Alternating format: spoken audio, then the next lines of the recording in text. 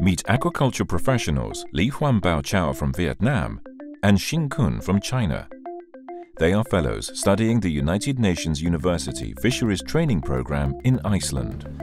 In the future in China, we need a lot of uh, seafood for people because we have uh, so huge population.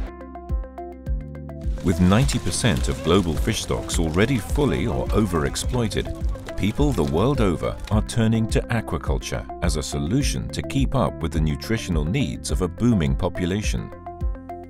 Already 50% of fish eaten by people is grown with aquaculture methods, and this is the fastest growing food industry in the world.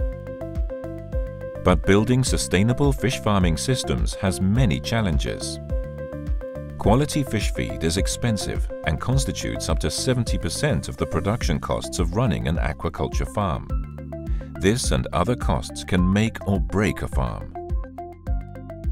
The UN University Fisheries Training Program helps bright professionals like Xing and Li Huan find solutions based on Icelandic aquaculture know-how and gives them a unique access to advanced research facilities and the expert knowledge of academic institutions and private companies in Iceland.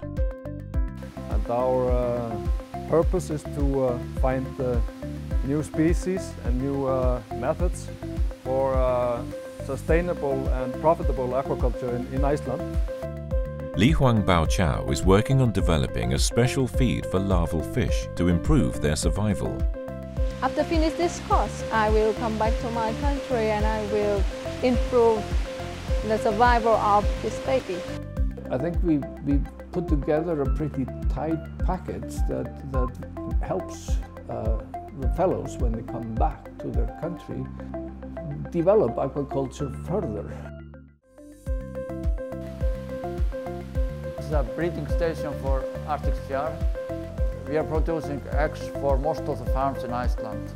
Fellows realize how in aquaculture farms, healthy, fast-growing fish are hard to come by, and finding the best juveniles that will grow quickly into valuable, nutritious fish can be a big problem. Can I take one? That is why broodstock management is very important. Careful management of farms, whether big or small, is a critical part of making aquaculture successful. Fellows learn how to analyze the cost of production, markets and evaluate supply chains to make sure farms will be profitable. The United Nations University Fisheries Training Program approach is empowering the people that we work with to assist them in developing as professionals people that have skills and knowledge and are responsible to use it to improve the management of the fisheries. The United Nations University contributes to the Global Sustainable Development Goals by helping build sustainable aquaculture systems to feed the world.